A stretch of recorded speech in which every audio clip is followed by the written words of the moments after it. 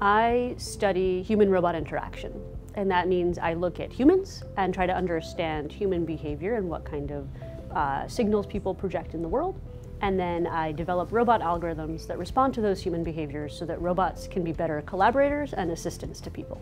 So we work with robots that help people, often with some kind of impairment, to fulfill everyday tasks. One example is a robot that helps people eat food.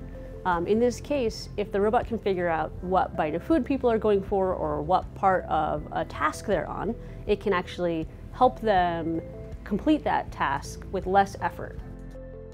Eyes are incredibly revealing.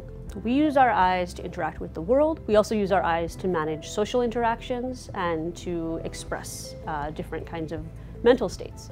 And so by looking at people's eyes, we can actually get a sense of what task they're trying to achieve when they're confused, when they are part of a conversation, who they're listening to, when they're not ready to give up their speaking turn. There's a lot of information that eye gaze gives us.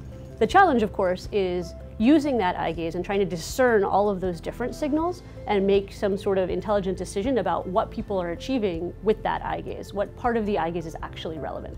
I hope people realize that there's a huge future for robotics and we need to be thoughtful about the way we're directing that future that robots actually have the capacity to provide tremendous good to people, but we need to understand the people in the system and all of the people in the system when we're building robots to actually act out in the world.